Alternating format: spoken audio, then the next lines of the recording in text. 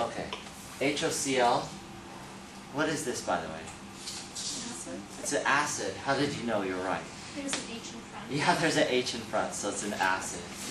Ka, that's why we wrote Ka here, not Kb. You actually saw this in Chem 2a. This would be uh, hypochlorous acid. So then we want to know the pH of a one molar solution. Asking for pH when you have a weak acid or a weak base. Oh, this is a weak acid. How did I know this is a weak acid? by the way? It's not on the table. You got it. And what did you say? It's not a strong acid. Yeah, exactly. It's not on the strong acid table. Everything not on that table is weak. Yeah. Would it be incorrect to write that down as HClO? Yeah, in Chem 2a you saw this as HClO. Same thing. Okay. Yeah. So the, the as long as the acid's in the front, the the two ions don't matter. Yeah, the two elements don't matter. In fact, this is a better way to write it than you saw in Chem 2a because this is a chemical formula. It shows you how it bonds. H and then O is in the middle and Cl on the end. So I was giving it to us the other way Chem 2a. I don't know. Uh, I, I think just to simplify things, because the O's, like there was a HClO4, those O's aren't all together. But I think just to write it nicely, they put all the O's in one location. That makes sense. Okay.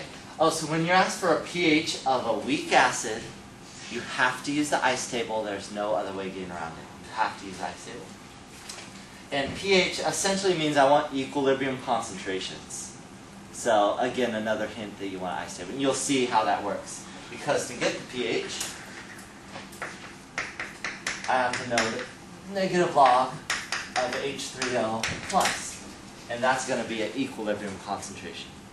So for this, it's a weak acid, you have to use the ice table. Everything is pointing towards the ice table. So you want to write out the reaction, HOCl plus H2O. Remember, we always add water when we're writing a Ka reaction. Add water in the reactants. The acid loses a proton, OCl minus. The base, in this case water, gains that proton. So this is the Ka, or the acidic reaction. Now we write I, C, and E. Uh, what state is water?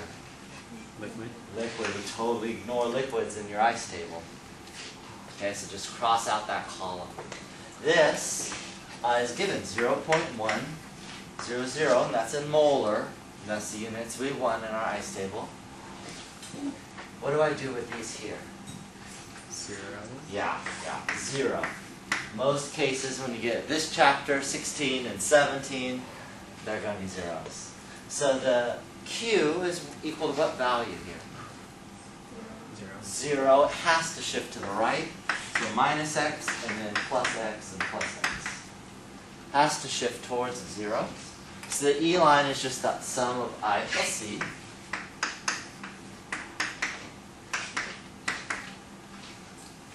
So there's your ice table. I will erase the top and write out K, the equilibrium uh, expression. Ka is equal, I already know this value, 3.5 times 10 to the minus 8. So that's the value given in the question. This is equal to the products.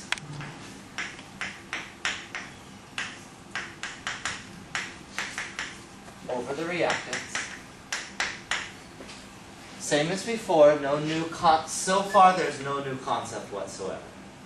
Same as before. Okay, this equals x times x, or x squared on top, divided by 0.100 minus x. And now we're back to the quadratic equation. The nice thing about acids is there's uh, a concept you might have seen a little bit in the previous chapter that makes the problems actually much easier. So let me erase the ice table, or at least part of it.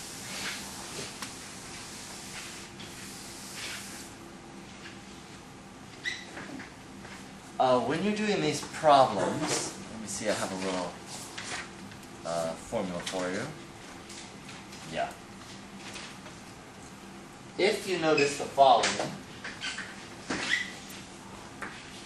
the concentration of the acid, when you divide that by K, you don't need this to solve the problem, but I just want to write this down.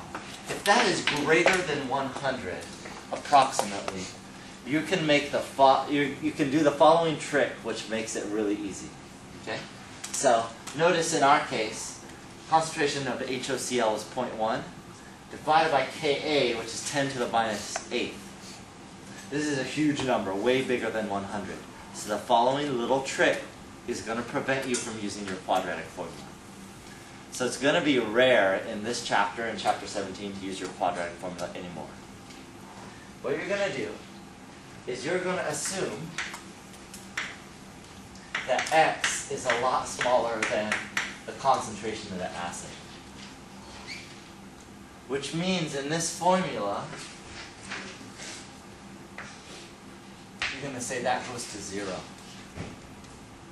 Now there's going to be no more quadratic formula because your equation at this point is 3.5 times 10 to the minus 8 equals x squared over 0.1. So I just say, well, x squared is equal to uh, 0.100 times 3.5 10 to the minus 8.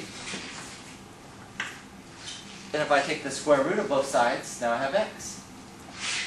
Take the square root.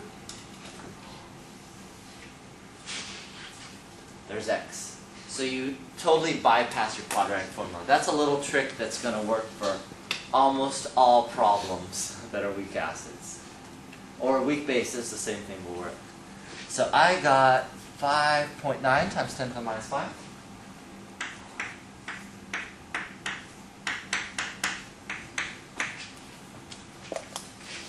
Okay. And that's the value for x. You can see that it's true. x is a lot smaller than 0.1. So if you even try this in your calculator, 0.1 plus this number, it should come back as pretty much 0.1. So that's going to be our little trick uh, when we do these weak acids. Otherwise, it's exactly the same as before.